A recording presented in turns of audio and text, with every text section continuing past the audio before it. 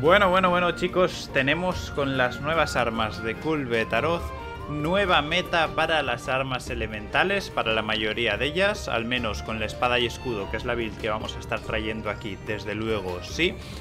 ¿Qué consiste simplemente ahora en equiparse las armas Kejar eh, elementales de Kulbetaroth, que son, aparte de muy poderosas, pues te dan de base elemento crítico?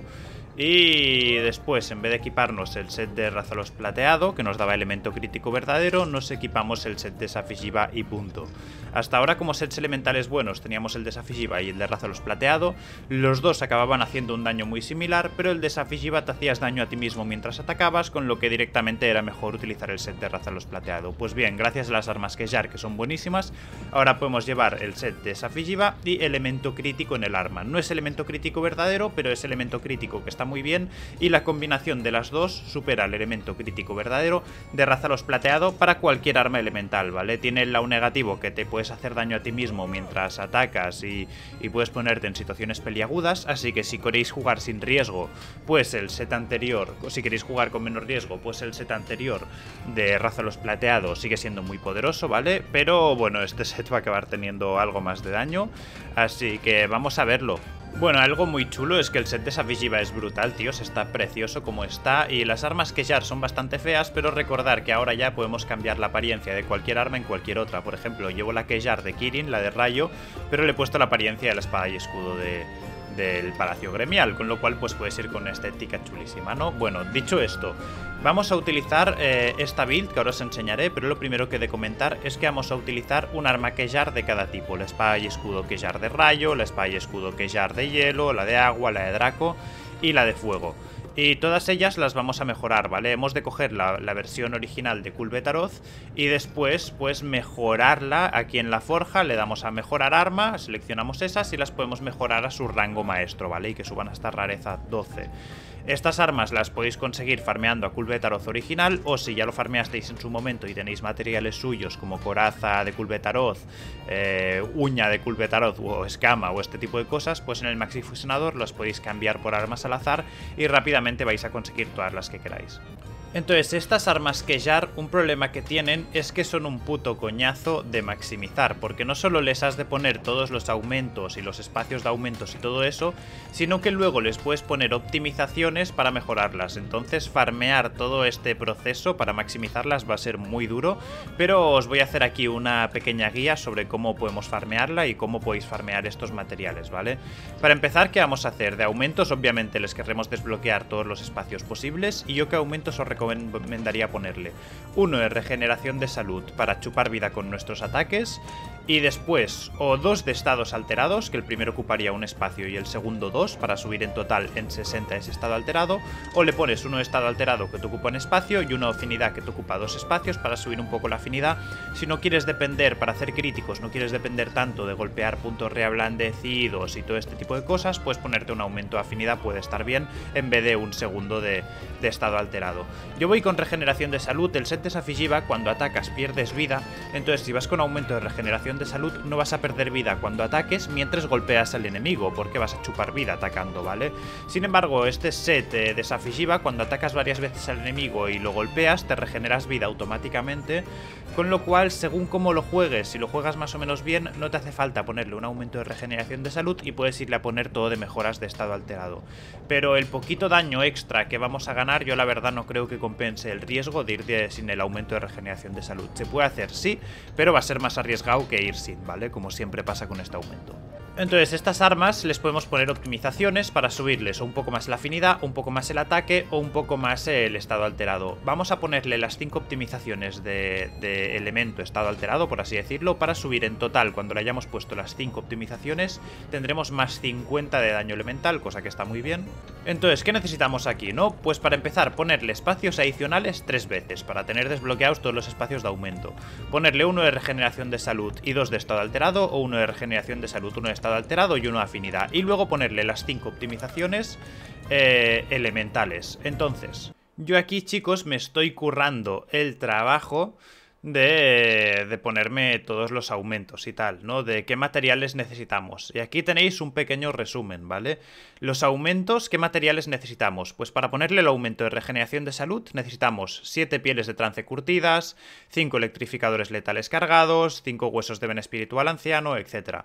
Estos son los materiales que necesitamos para ponerle la mejora de estado alterado, la mejora de elemento la primera vez, esto la mejora de elemento si queremos ponerla una segunda vez, y esto si queremos poner una mejora de afinidad, que son los aumentos que nos plantearíamos ponerle a este arma. Para mejorar los espacios y por lo tanto poder poner más aumentos de estos, el primer espacio nos pide estos objetos de aquí, volverle a poner otro espacio más nos pide estos objetos de aquí, y el tercero no me acuerdo de cuáles sean los materiales y no lo puedo comprobar porque me faltan piel brillante curtida, que son materiales de Rayan curtido, me falta farmearlo, con lo cual no os lo puedo decir, pero bueno, si llegáis al segundo espacio y queréis poner el tercero, pues ya veréis qué materiales os pide, es muy sencillo. Y para las optimizaciones elementales, la primera vez que le pones la optimización elemental te pide estos materiales, la segunda vez te pide estos, la tercera vez te pide estos, la cuarta vez te pide estos y la quinta vez te pide estos. Así que aquí tenéis pantallazo, chicos, de los materiales que necesitáis para cualquier tipo de aumento que os interese ponerle a esta arma. De nada, tíos, de nada. Es el, esta es la hoja que yo estoy usando para orientarme un poco. Y bueno, luego aquí abajo me pongo qué monstruos, según los materiales que necesito, qué monstruos me interesa farmear según los materiales que me faltan. Entonces, al lío, chicos. Bueno, le he liado un poco con el audio, por eso estáis oyendo la estúpida canción de la herrería, que estoy hasta los cojones de ella, pero es que la he liado, no lo he puesto de una manera que ahora, que ahora la lío. Pero bueno, vamos a ver un poco eh, esta build que llevo, los adornos y tal. Aquí estáis viendo a la izquierda las piezas de armadura, en el centro los adornos y a la derecha las habilidades totales como me quedan, ¿vale? La build va a ser exactamente igual para todas las armas, solamente que como voy con, esta es mi arma de rayo, pues voy con ataque rayo 6 a partir de una cigua que me da ataque rayo 5 y, y de un adorno de nivel 1 de ataque rayo. Si fuese la de agua, pues cambiaría estas cosas por agua, ¿vale? Si fuese la de hielo, cambiaría por hielo, obviamente. Entonces, por si no lo sabéis, bueno, si os fijáis vamos con 5 piezas del set de Safijiva. ¿Qué es lo que hace este set? Pues esto nos da la habilidad de desvelar Dracovena Real que cuando tenemos el arma desenfundada, es decir, todo el rato durante el combate, tenemos más 40% de afinidad y tenemos más 150 de daño elemental. También afecta a estados alterados, pero como no tenemos estados alterados, pues elemental, ¿vale? Más 40% de afinidad y más 150 de daño elemental. Esto es muy poderoso, pero viene con un lado negativo, que es que cuando atacamos perdemos vida. Eh, y al cabo de cuando si golpeamos varias veces seguidas al monstruo, al cabo de un rato esa vida, ¡pum!, la regeneramos, ¿vale? Se nos regenera automáticamente. Entonces es interesante, pero puede ser arriesgado porque a veces te quedas a baja vida de repente y estás en una mala situación. Por eso, si os fijáis, por eso vamos en el arma con el aumento de regeneración de salud, porque por lo menos cuando golpeemos al monstruo, regeneraremos salud. Este set de Safijiva está muy bien y es muy poderoso, pero puede ser muy arriesgado con armas, por ejemplo, como las espadas dobles o el arco, que a veces atacas, fallas con tus ataques, con lo cual no regeneras vida, pero como has atacado sí que pierdes vida, y luego como no has golpeado no te cuenta de cara después a regenerar tu salud. Con lo cual, bueno, con espada y escudo va súper bien, con hacha cargada, por ejemplo, elemental también va muy bien. Con arco y duales igual habría, igual si eres bueno sí, pero si eres más intermedio igual puede ser un poco suicida incluso, así que ya veré que, ya veré qué build monto para esas dos armas. Entonces, bueno, ya estáis viendo las habilidades, se explican bastante solas, ¿vale? Ataque rayo la llevo a nivel 5 a través de la cigua y un adorno, bonus de salud la llevo a nivel 3 a través de adornos, antiplagas la llevo a nivel 3 porque el set te da antiplagas 2, pues me he puesto un puntito más y voy con antiplagas 3, así ningún tipo de plaga me afecta. Voy con bonus críticos a nivel 3, bonus punto débil a nivel 3 para más críticos y más daño crítico, instigador a nivel 3 también, que me da un poco más de afinidad. Afinidad en total llego como a un 103% o 105% o algo así al golpear puntos reablandecidos. Hay algunas armas que ya que dan más afinidad y otras menos, así que dependerá de eso, si os queréis poner un aumento de afinidad o no, o si queréis jugar más seguro sin tener que golpear puntos reablandecidos. Obviamente vamos con acabado protector para eh, tener, pues como veis estas armas tienen un afilado blanco bastante corto, ¿vale? Con lo cual, pues eh, si afilamos durante un minuto, gracias a acabado protector, un minuto tras afilar no perdemos afilado. Esto encaja muy bien con velocidad afilado que la llevamos a nivel 3 para afilar más rápido. Y qué más, llevo también duración de objetos 2 para que me dure... Aquí a través de la joya impasible esta, que me da duración de objetos 2. Hay una joya que te da duración de objetos 3, yo no la he encontrado nunca, pero si la tenéis os será muy útil porque os aumentará un 50% la duración de acabado protector, por ejemplo. Pero esta habilidad, eh, por ejemplo, es muy, muy, muy si la quieres, ¿vale? Te la pones si la quieres y si no, no.